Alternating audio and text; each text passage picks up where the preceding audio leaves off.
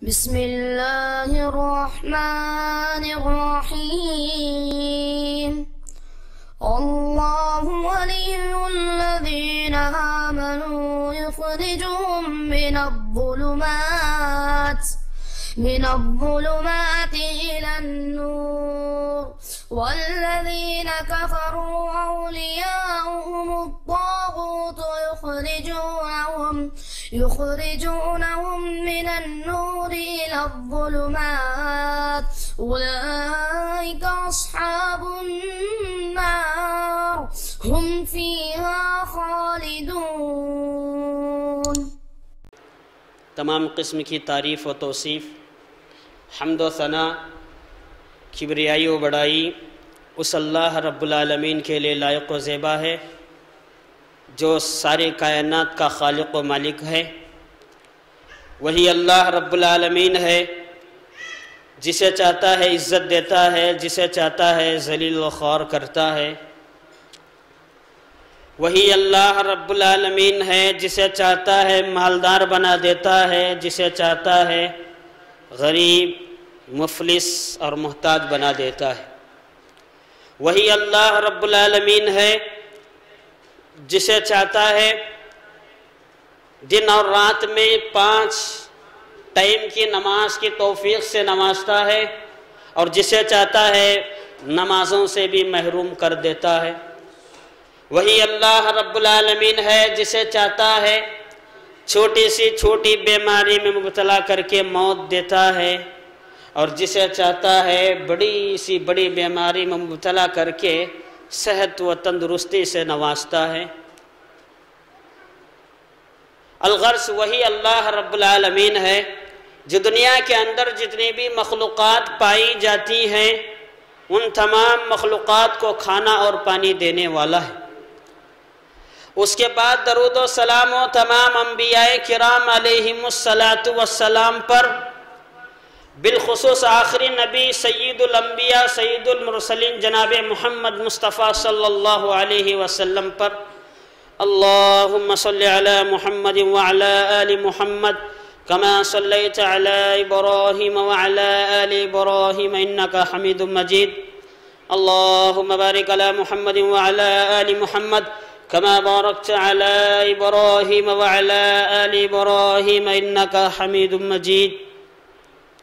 محترم حضرات، گزشتہ جمعہ ہماری گفتگو سیرت النبی صلی اللہ علیہ وسلم کے موضوع پر یہ چل رہی تھی کہ آپ صلی اللہ علیہ وسلم جب مدینہ آئے تو مدینہ میں آپ نے تین کام کیے۔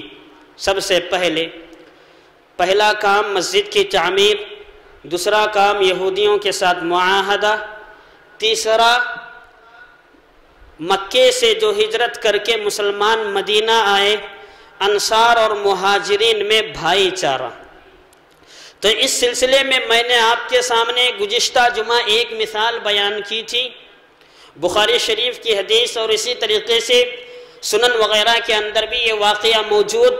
میں نے آپ کے سامنے مکمل بیان کیا، حضرت عبد الرحمن بن عوف اور سعد بن ربی رضی اللہ عنہما، ان دونوں کا آپ صلی اللہ علیہ وسلم نے کیسے بھائی چارہ کرایا؟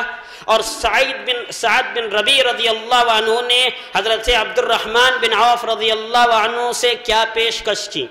پھر اس کے بعد انہوں نے کیا کیا؟ اور عبد الرحمن بن عوف رضی اللہ عنہ کتنے بڑے مالدار بنے؟ اسی درمیان میں حضرت عبد الرحمن بن عوف رضی اللہ عنہ نے شادی بھی کر لی، اتنا پیسہ ان کے پاس جمع ہوا۔ اللہ کے رسول صلی اللہ علیہ وسلم نے ایک مرتبہ حضرت عبد الرحمن بن عوف رضی اللہ عنہ کو دیکھا کہ ان کے جسم سے خوشبو آ رہی ہے اور مختلف قسم کے نشانات جو ہے، ایک قسم کے نشانات لگے ہوئے ہیں۔ آپ صلی اللہ علیہ وسلم نے پوچھا عبد الرحمن یہ کیسے نشانات ہیں؟ عبد الرحمن بن عوف رضی اللہ عنہ نے کہا اللہ کے رسول، میں نے شادی کر لی ہے۔ آپ صلی اللہ علیہ وسلم نے فرمایا تم نے مہر کتنا ادا کیا؟ عبد الرحمن بن عوف رضی اللہ عنہ نے کہا اللہ کے رسول، کھجور کی گٹلی جتنی ہوتی ہے، اتنا میں نے سونا سونا جو ہے مہر کے اندر دیا اور اس کے بدلے میں نے نکاح کر لیا ہے۔ اللہ کے رسول صلی اللہ علیہ وسلم نے ان کو برکت کی دعا دی اور کہا، اولم ولو بشاتن تم ولیمہ کرو اگرچہ کہ ایک بکری ذبح کر کے ہی صحیح۔ تو بہرحال یہ جو ہے اللہ کے رسول صلی اللہ علیہ وسلم نے حضرت عبد الرحمن بن عوف اور سعد بن ربی رضی اللہ عنہ ان دونوں کے درمیان میں بھائی چارہ کرایا۔ اسی طریقے سے احادیث کی کتابوں میں ہمیں یہ واقعہ بھی ملتا ہے کہ میں نے گزشتہ جمعہ آپ کے سامنے اشارہ کیا تھا۔ حضرت سلمان فارسی رضی اللہ عنہ جو کہ فارس سے آئے ہوئے تھے، ان کا آپ صلی اللہ علیہ وسلم نے حضرت ابو الدردہ رضی اللہ عنہ کے ساتھ بھائی چارہ کرایا۔ حضرت ابو الدردہ رضی اللہ عنہ نے حضرت سلمان فارسی رضی اللہ عنہ کو جو اپنے پاس رکھ لیا تو حدیث کے اندر ہمیں بات ملتی ہے کہ حضرت سلمان فارسی رضی اللہ عنہ نے ان کی بیوی حضرت ابو الدردہ رضی اللہ عنہ کی بیوی امت دردہ رضی اللہ عنہ کو دیکھا کہ ان کے کپڑے بہت جو ہے گندے ہیں، میلے کچیلے ہیں، بہت سادہ لباس ہے۔ حضرت سلمان فارسی رضی اللہ عنہ نے پوچھا کہ اے ام دردہ تم اتنے میلے کھچیلے کپڑے کیوں پہن رکھی ہو؟ تو ام دردہ رضی اللہ عنہ نے فرمایا کہ تمہارے بھائی ابو دردہ رضی اللہ عنہ کو کوئی ضرورت نہیں ہے، اسی لیے میں ایسے کپڑے پہن رکھی ہوں۔ حضرت سلمان فارسی رضی اللہ عنہ کو پتا چلا، وہ سمجھ گئے ماجرہ کیا ہے بات چیت کیا ہے، مقصد کیا ہے۔ حضرت سلمان فارسی رضی اللہ عنہ نے سوچا کہ میں ابو دردہ رضی اللہ عنہ کو نصیحت کروں گا۔ چنانچہ چنانچہ احادیث کی کتابوں میں میں بات ملتی ہے۔ ابو الدردہ رضی اللہ عنہ دن کے اندر روزہ رکھا کرتے تھے اور رات میں قیام اللیل، نفل نمازوں میں مشغول ہوا کرتے تھے۔ حضرت سلمان فارسی رضی اللہ عنہ دوپہر کا وقت تھا۔ ابو الدردہ رضی اللہ عنہ بھی گھر میں آئے اور اپنی بیوی ام الدردہ رضی اللہ عنہ سے کہا کہ ام دردہ حضرت سلمان فارسی رضی اللہ عنہ کو کھانے کے لیے کچھ لائیں۔ سلمان فارسی رضی اللہ عنہ نے کہا، ابو دردہ، تم بھی میرے ساتھ کھانے کے لیے آؤ. ابو دردہ نے کہا، نہیں، میں روزے سے ہوں، نفل روزے نفل روزے میں ہوں، میں نفل روزہ میں نے رکھ لیا ہے. پھر اس کے بعد سلمان فارسی نے کہا، اے ابو دردہ جب تم جب تک تم روزہ، نفل روزہ توڑ کر میرے دسترخوان میں میرے ساتھ نہیں کھاؤ گے، اس وقت تک میں تمہارے ساتھ نہیں کھاؤں گا۔ مجبوراً حضرت ابو دردہ رضی اللہ عنہ کو روزہ، نفل روزہ توڑنا پڑا۔ توڑ کے سلمان فارسی رضی اللہ عنہ کے ساتھ انہوں نے کھانا کھا لیا۔ جب رات ہوئی تو رات میں ابو دردہ رضی اللہ عنہ نے کہا کہ ام دردہ سلمان فارسی رضی اللہ عنہ کے لیے بستر لاؤ تاکہ وہ سو جائیں، آرام کر لیں۔ سلمان فارسی نے کہا کہ ابو دردہ تم بھی آؤ، سو جاؤ۔ ابو دردہ نے کہا، نہیں، میں رات میں نفل نماز پڑھوں گا، قیام اللیل کروں گا، تم سو جاؤ، میں مجھے جو ہے، میری عبادت مجھے نماز پڑھنے کے لیے دو۔ سلمان فارسی نے کہا، ابو دردہ تم میرے ساتھ جب تک نہیں سوؤ گے میں بھی نہیں سوؤں گا۔ مجبوراً ابو دردہ رضی اللہ عنہ آئے اور آ کر ان کے ساتھ لیٹے رہے اور لیٹتے ہوئے انتظار کرتے رہے کہ کب سلمان فارسی رضی اللہ عنہ سو جائیں گے، کب میں اٹھ کر جو ہے پھر نفل نماز میں قیام اللیل میں مشغول ہو جاؤں۔ چنانچہ ابو دردہ رضی اللہ عنہ سو گئے، سلمان فارسی بھی سو گئے۔ تھوڑے وقفے کے بعد ابو الدردہ رضی اللہ عنہ آہستہ اٹھے، انہوں نے سمجھا کہ سلمان فارسی رضی اللہ عنہ سو گئے ہیں۔ تو یہ سمجھ کر ابو دردہ رضی اللہ عنہ اٹھے قیام اللیل کرنے کے لیے۔ فوراً سلمان فارسی رضی اللہ عنہ بھی ہوشار تھے، بیدار تھے۔ وہ بھی فوراً اٹھے۔ ابو دردہ رضی اللہ عنہ سے کہا، ابو دردہ ابھی وقت ہے، سو جاؤ، تم سو جاؤ۔ زبردستی کر کے ابو دردہ رضی اللہ عنہ کو سلایا۔ ابو دردہ رضی اللہ عنہ کو نیند لگ گئی، آرام سے سونے لگے۔ حضرت سلمان فارسی رضی اللہ عنہ بھی سونے لگے۔ جب رات کا آخری حصہ آیا، سلمان فارسی رضی اللہ عنہ خود جاگے اٹھے، اٹھ کر حضرت ابو دردہ رضی اللہ عنہ کو اٹھایا اور دونوں نے مل کر تحجد کی نماز ادا کی۔ تحجد کی نماز پڑھی۔ پھر اس کے بعد میں سلمان فارسی رضی اللہ عنہ نے کہا کہ یا ابا دردہ وَإِنَّ لِزَوْجِكَ عَلَيْكَ حَقٍ وَإِنَّ لِعَيْنِكَ عَلَيْكَ حَقٍّ وَأَعْتِي كُلَّ ذِي حَقٍّ حَقٍّ۔ حضرت ابو دردہ رضی اللہ عنہ سے سلمان فارسی نے کہا، اے ابو دردہ تمہارے جسم کا تم پر حق ہے تمہاری آنکھوں کا تم پر حق ہے، تمہارے جسم کا تم پر حق ہے، لہٰذا تم ہر چیز کا حق برابر ان کا، ہر چیز کا حق برابر تم ادا کیا کرتے رہو۔ اس کے بعد میں نماز ادا کو ادا ہو گئی تحجد کی نماز دونوں نے مل کر پڑھ لیا۔ جب صبح کی نماز کا وقت آیا حضرت ابو الدردہ رضی اللہ عنہ، حضرت سلمان فارسی رضی اللہ عنہ، فجر کی نماز پڑھنے کے لیے جب مسجد نبوی میں جائے، مسجد نبوی میں گئے، تو فجر کی نماز میں آپ صلی اللہ علیہ وسلم سے ملاقات ہوئی۔ ابو الدردہ نے کہا اے اللہ کے رسول، رات میں سلمان فارسی رضی اللہ عنہ نے میرے ساتھ ایسا ایسا معاملہ کیا، مجھے جو ہے قیام اللیل کرنے نہیں دیا، رات بھر میں قیام اللیل کیا کرتا تھا اور دن بھر روزہ رکھا کرتا تھا، لیکن سلمان فارسی رضی اللہ عنہ نے ایسا کرنے سے مجھے منع کیا ہے اور کہا، فَآتِي كُلَّ ذِي حَقٍ حَقَّ ہر چیز کا حق تم برابر ادا کرتے رہو۔ اللہ کے رسول صلی اللہ علیہ وسلم نے ابو دردہ رضی اللہ عنہ کی بات سن کر کہا، صدق سلمان۔ سلمان فارسی رضی اللہ عنہ نے سچی بات بیان فرمائی ہے۔ سلمان فارسی نے سچ کہا ہے۔ چنانچہ اللہ کے رسول صلی اللہ علیہ وسلم نے جب سلمان فارسی رضی اللہ عنہ کی بات کی تصدیق کی تو ابو دردہ رضی اللہ عنہ خاموش ہو گئے۔ محترم حضرات یہ جو ہے اللہ کے رسول صلی اللہ علیہ وسلم نے ان دونوں کے درمیان میں بھائی چارہ کرایا تھا اور اس کے اندر جو ہے ایک واقعہ پیش آیا۔ اس واقعے میں غور کرنے سے دو تین باتیں ہمیں معلوم ہوتی ہیں۔ سب سے پہلی بات تو یہ ہے کہ بیوی اگر بننا بننا سورنا چاہتی ہے تو وہ صرف اپنے شوہر کے لیے سورے گی۔ بیوی اگر سورنا چاہتی ہے یا جو ہے اپنی زینت کا اظہار کرنا چاہتی ہے تو وہ اپنی شوہر کے لیے کرے گی۔ لیکن آج ہمارے مسلم معاشرے میں اس کا الٹا ہو رہا ہے۔ شوہر کے سامنے تو بننے اور سورنے کی بات دور کی ہے۔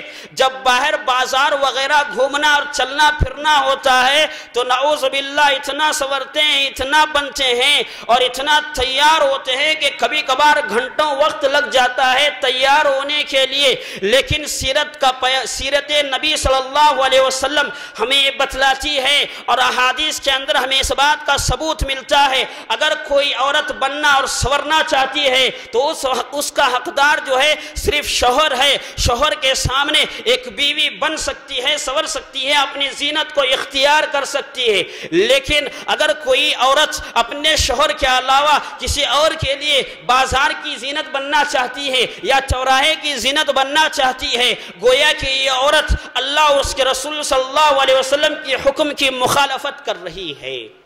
اسی طریقے سے اس واقعے میں غور کرنے سے ایک اور بات میں یہ معلوم ہوتی ہے کہ کام عمل کتنا بھی بڑا کیوں نہ ہو اچھا کام کتنا بھی بڑا کیوں نہ ہو، اور کرنے والا کتنا بھی بڑا انسان اور کتنی بڑی، کتنی بھی بڑی عظیم ہستی کیوں نہ ہو، اگر وہ کام، وہ عمل اللہ اور اس کے رسول صلی اللہ علیہ وسلم کے طریقے کے مطابق ہے تو قبول کیا جائے گا۔ ورنہ قبول نہیں بلکہ رد کیا جائے گا۔ کیسے؟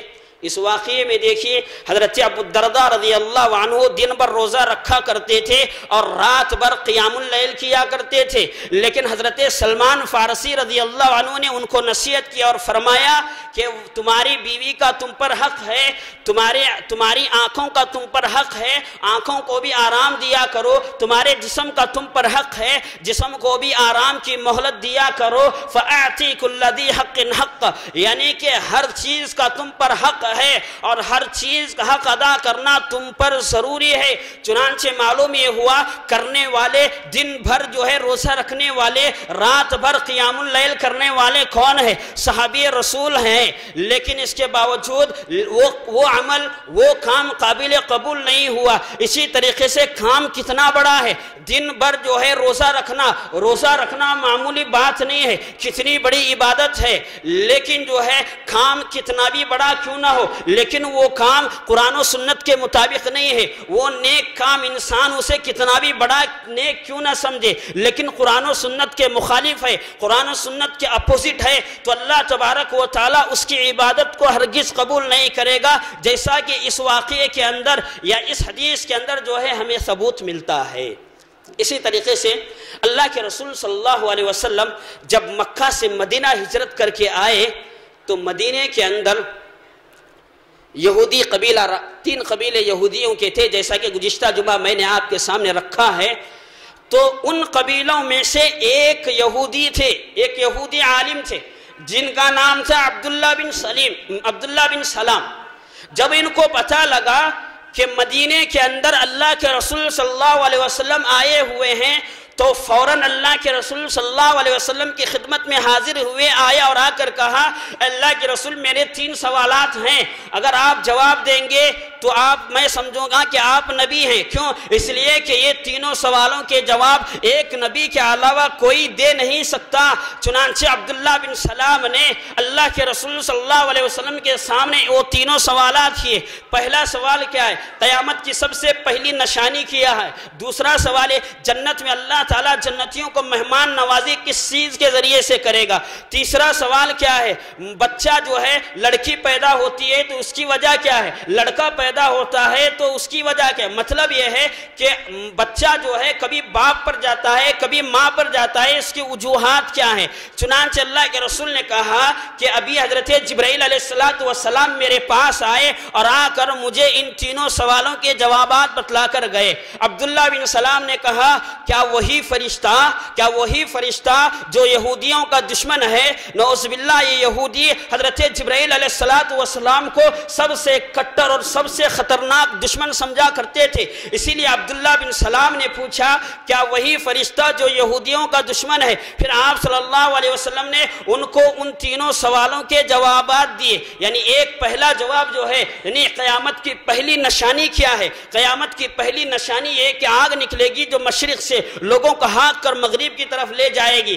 دوسری، دوسرا سوال دوسرا سوال ہے کہ جنت کے اندر جنتیوں کو سب سے پہلی مہمان نوازی کس چیز کے ذریعے سے کیا جائے گا؟ اللہ کے رسول صلی اللہ علیہ وسلم نے فرمایا کہ مچھلی کی جو کلیجی ہوتی ہے، کلیجی کا بڑا بڑا ہوا حصہ یعنی کہ تلی، اس سے جنت کے اندر جنتیوں کو سب سے پہلے مہمان نوازی جو ہے اللہ رب العالمین کرے گا۔ اسی طریقے سے تیسرا سوال یعنی بچہ جو ہے کبھی باپ پر جاتا ہے، کبھی ماں پر جاتا ہے۔ میں مناسب نہیں سمجھتا ہوں کہ اس کی تشریح جمعہ کے خطبے میں کروں۔ اگر کوئی جواب چاہتے ہیں تو انشاءاللہ جو ہے جمعہ کے بعد مجھ سے ملیے۔ انشاءاللہ تفصیل کے ساتھ جو ہے آپ کے سامنے رکھوں گا، مجھے جو ہے مناسب نہیں لگتا ہے۔ تو بہرحال اللہ کے رسول صلی اللہ علیہ وسلم نے ان تینوں سوالوں کے جواب عبداللہ بن سلام کو دیا۔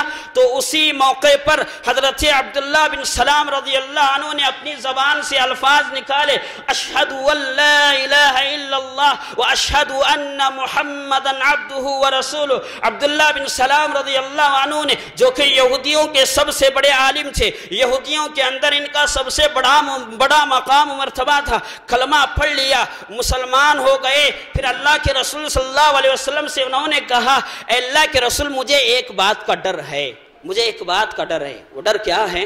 میں مسلمان ہونے کا یہودیوں کے پاس چرچا کروں گا یا اعلان کر دوں گا، تو یہودی جو ہے مجھ پر طرح طرح کی باتیں کسیں گے، مجھ پر جو ہے طرح طرح کے الزامات دیں گے۔ اسی لیے اللہ کے رسول، یہودی جب آپ کے پاس آئیں گے تو آپ ان کے سامنے میرے تعلق سے سوال کرنا، میرے بارے میں پوچھنا۔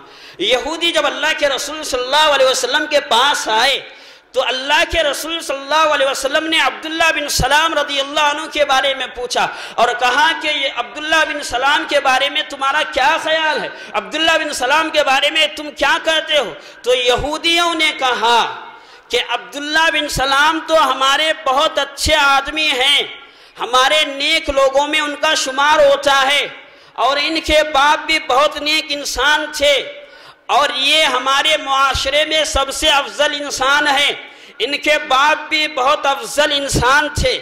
چنانچہ اللہ کے رسول صلی اللہ علیہ وسلم نے پھر ان سے پوچھا، اگر عبداللہ بن سلام انہوں نے اسلام قبول کر لیا یا مسلمان ہو گئے، تو اس کے بارے میں تمہاری رائے کیا ہے؟ تمہارا خیال کیا ہے؟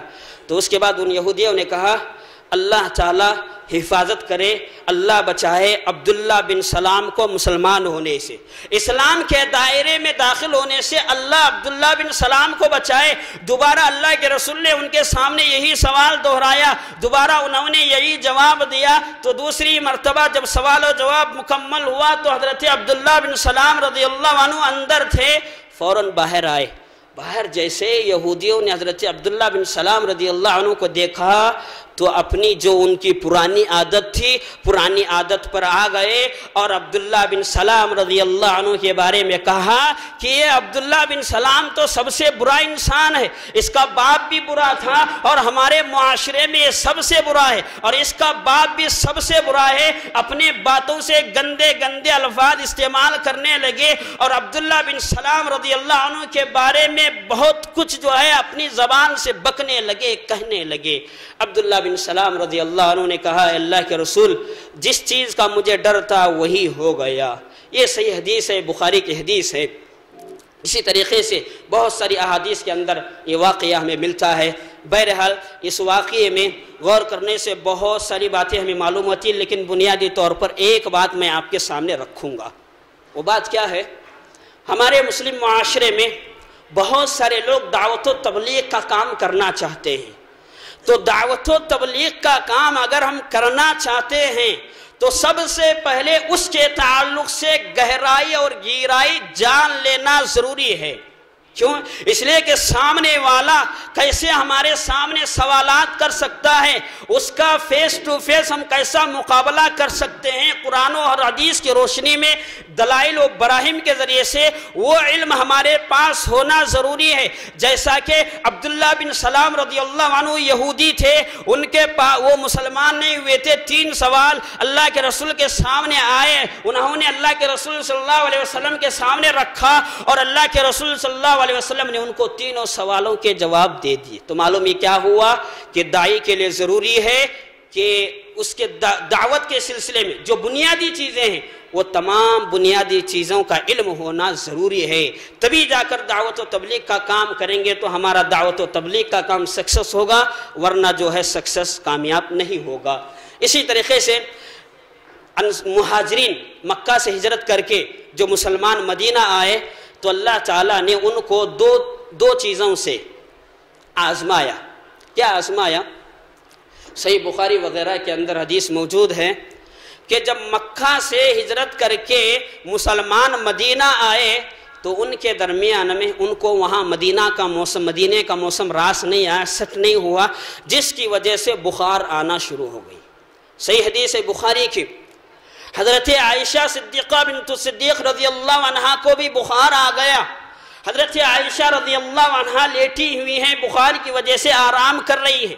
حضرت عائشہ رضی اللہ عنہ کے ابو حضرت ابو بکر صدیق رضی اللہ عنہ اپنی پیاری بیٹی لخت جگر حضرت عائشہ صدیقہ بنت صدیق رضی اللہ عنہ کی حالت دیکھ کر ان کے پاس آئے اور آ کر کہا، بیٹی، تمہاری طبیعت کیسی ہے؟ بعض روایت کے اندر ہمیں بات ملتی ہے کہ ادھر جو ہے حضرت ابو بکر صدیق رضی اللہ عنہ بھی بیمار ہو گئے، ادھر جو ہے حضرت بلال حبشی رضی اللہ عنہ بھی بیمار آ گئے، انہیں بھی بخار آ گیا۔ ابو بکر صدیق رضی اللہ عنہ کو بھی بخار آ گیا۔ اتنا بخار آیا کہ مکہ سے مدینہ جو ہجرت کر کے مسلمان آ گئے تھے، انہیں مکہ کی یاد ستانے لگی۔ مکہ انہیں یاد آنے لگا۔ ظاہر سی بات ہے، ایک انسان جس گاؤں کے اندر، جس بستی کے اندر پھلا ہوتا ہے، بڑا ہوتا ہے، جس گاؤں کے اندر اس کی پیدائش ہوتی ہے، ظاہر سی بات ہے، دوست و احباب ہوتے ہیں۔ وہاں کا ماحول، وہاں کی گلی، وہاں کا گاؤں اسے سٹ ہویا، سٹ ہو جایا کرتا ہے۔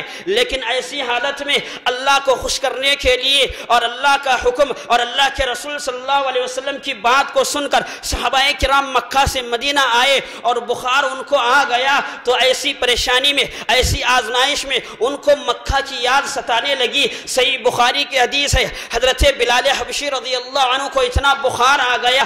حضرت بلال حبشی رضی اللہ عنہ کہنے لگے، کاش میں مکے کی وادی میں ایک رات گزار سکوں۔ مکے کے جو مشہور پہاڑ ہیں، ان پہاڑوں کو میں اپنے آنکھوں سے دیکھ سکوں اور مکے کے جو چشمے ہیں، ان چشموں میں سے ایک چشمے کا پانی جھا کر میں پی سکوں اور اللہ تعالیٰ اپنی رحمت سے اتبا بن ربیہ کو اور اسی شیبہ بن ربیہ کو، امیہ بن خلف کو اللہ تعالیٰ ان تمام لوگوں کو اپنی رحمت سے دور رکھے۔ اس لیے کہ ان لوگوں نے ہم کو مکے سے نکال دیا اور مکہ چھوڑنے پر مجبور کر دیا۔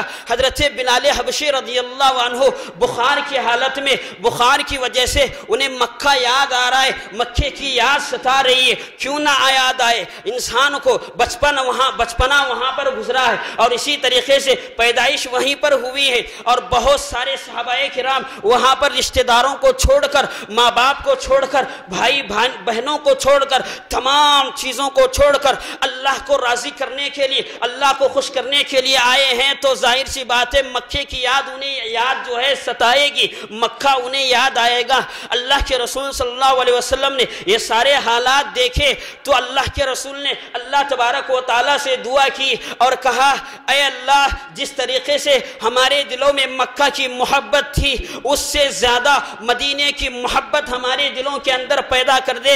اے اللہ، مکے کے مکے سے جو لوگ ہجرت کرتے ہوئے مدینہ آئے ہیں، وہ بخار کے اندر مبتلا ہے موسم وہاں کا انہیں راس نہیں آ رہا ہے سٹ نہیں ہو رہا ہے۔ اے اللہ، اس کا انتظام کرنے والا تو ہے۔ اے اللہ، یہاں کے مسلمانوں کو جو مکہ سے آئے ہیں، موسم ان کے لیے سر، ان کے لیے برابر کر دے۔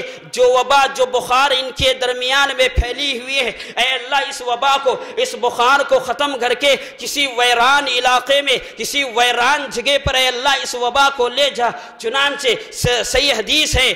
صحیح حدیث کے اندر ہمیں اس بات کا پتہ چلتا ہے۔ اور بلکہ تاریخ کی کتاب کتابوں میں ہمیں بات ملتی ہے کہ اللہ کے رسول صلی اللہ علیہ وسلم کی دعا کا نتیجہ تھا، آج تک مدینے کے اندر کوئی وبا نہیں پھیلی، مدینے کے اندر کوئی ایسی بیماری نہیں پھیلی جیسے کہ اللہ کے رسول جناب محمد مصطفیٰ صلی اللہ علیہ وسلم کے زمانے کے اندر پھیلی ہوئی تھی۔ اللہ کے رسول صلی اللہ علیہ وسلم کی دعا کا نتیجہ تھا۔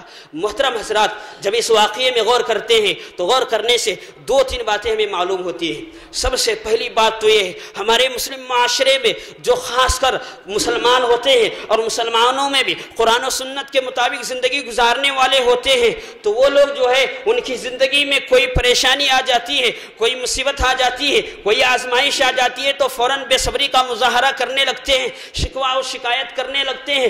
قربان جائیے صحابہ کرام، قربان جائیے مہاجرین پر، جنہوں نے اللہ کو خوش کرنے کے لیے اپنے گھر کو چھوڑا، اپنی تمام چیزوں کو، مال کو، دولت کو، اور اسی طریقے سے محلے کو، گلی کو، گاؤں کو چھوڑ چھاڑ کر اللہ کو خوش کرنے کے لیے مدینہ آئے اور ان کی حالت آپ خود کو آپ کو پتا ہے۔ ایک انسان مسلمان ہوتا ہے تو شروع شروعات میں اسے کتنی تکلیفوں کا سامنا کرنا پڑتا ہے۔ بالکل اسی طریقے سے مکہ سے ہجرت کرتے ہوئے مدینہ جب مسلمان آئے تو سب سے بڑی بات تو ہجرت کرنا ان کے لیے بہت بڑی بات تھی۔ یہ ان کے لیے بہت آزمائش تھی۔ لیکن اس کے ساتھ ساتھ نئے نئے لوگ ہیں۔ مدینہ آئے تو پھر بخار آ گیا۔ بخار ان کے درمیان عام ہو گئی۔ اس آزمائش کا بھی انہوں نے ڈٹ کر مقابلہ کیا۔ اس آزمائش میں بے صبری کا انہوں نے مظاہرہ نہیں کیا۔ مطلب یہ ہے کہ جو انسان اپنے آپ کو مسلمان کہتے ہیں، جو لوگ اپنے آپ کو کتاب و سنت کے مطابق زندگی گزارنے والے کہتے ہیں، انسان ایمان پر جتنا مضبوط ہوتا ہے، اللہ کی قسم، اللہ تعالیٰ اتنا زیادہ ان لوگوں کو آزماتا ہے۔ لیکن اس آزمائش میں مسلمانوں کو کتاب و سنت پر عمل کرنے والوں کو بے صبری کا مظاہرہ نہیں کرنا چاہیے۔ اسی لیے صحیح حدیث کے اندر ہمیں بات ملتی ہے۔ اللہ کے رسول صلی اللہ علیہ وسلم نے فرمایا، سب سے زیادہ آزمائش انبیاء پر آتی ہے، پھر اس کے بعد والے مقام، جس، پھر اس کے بعد والے لوگوں پر، پھر اس کے بعد والے لوگوں پر۔ مطلب یہ ہے، انسان جتنا زیادہ ایمان پر مضبوط ہوتا ہے، اتنا زیادہ اللہ تبارک و تعالیٰ کی آزمائش ہوتی ہے۔ اس کو سمجھنے کے لیے حضرت ایوب علیہ السلام کی مثال مثال لے لیجیے۔ حضرت ایوب علیہ السلام کو اللہ نے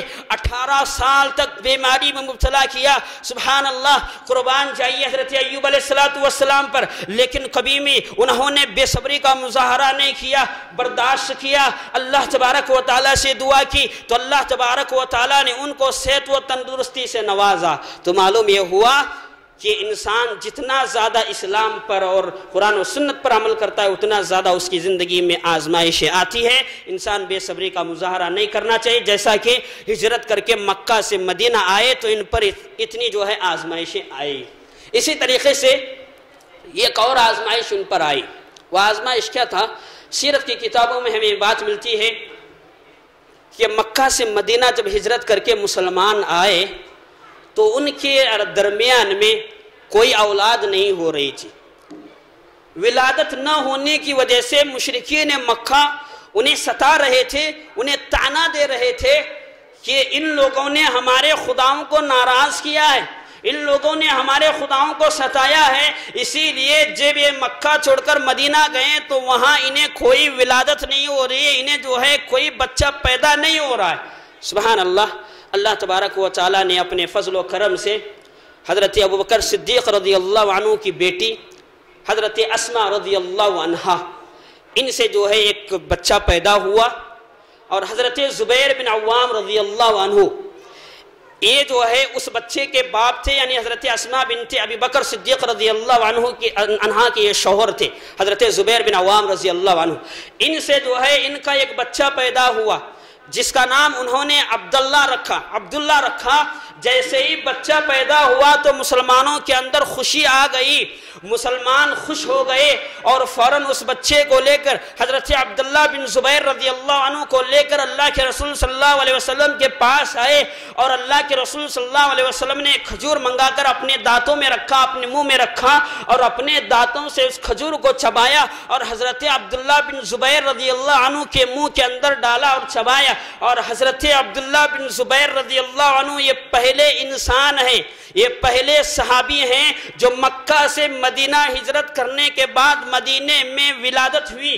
اور یہ پہلے واحد پہلے صحابی حضرت عبداللہ بن زبیر ہیں جو مکہ سے مدینہ ہجرت کرنے کے بعد جب ان کی ولادت ہوئی، تو جناب محمد مصطفیٰ صلی اللہ علیہ وسلم نے اپنے دانتوں میں کھجور لے کر چبایا اور آپ صلی اللہ علیہ وسلم کا لعاب دہن حضرت عبداللہ بن زبیر رضی اللہ عنہ کے منہ میں چھلا گیا۔ یہ حضرت عبداللہ بن زبیر رضی اللہ عنہ پہلے صحابی ہیں جو مدینہ ہجرت کرنے، مکہ سے مدینہ ہجرت کرنے کے بعد جو ہے، اللہ کے رسول کا لعاب اللہ کے رسول صلی اللہ علیہ وسلم کا جھوٹا ان کے جو ہے جسم میں گیا۔ تو بہرحال اس کے بعد ایک خطرناک یا اس کے بعد ایک ایسا، ایسی آزمائش یا ایسا فتنہ رونما ہوا جسے جو ہے منافقین کہتے ہیں۔ منافق کس کو کہتے ہیں اور منافق یہ کہاں سے آئے؟ اور یہ منافق بننے کا سبب کیا ہے؟ منافق بننے کی وجہ کیا ہے؟ انشاءاللہ آئندہ جو ہم آپ کے سامنے رکھیں گے، اللہ رب العالمین سے دعا ہے کہ اللہ رب العالمین اس خطبے کے اندر جو باتیں سیرت النبی صلی اللہ علیہ وسلم کے موضوع پر آپ کے سامنے رکھی گئی ہیں، کہنے والے کو، سننے والوں کو اللہ تعالیٰ عمل کی توفیق عطا فرمائے۔ آمین، ثم آمین۔ وما توفیق الا باللہ۔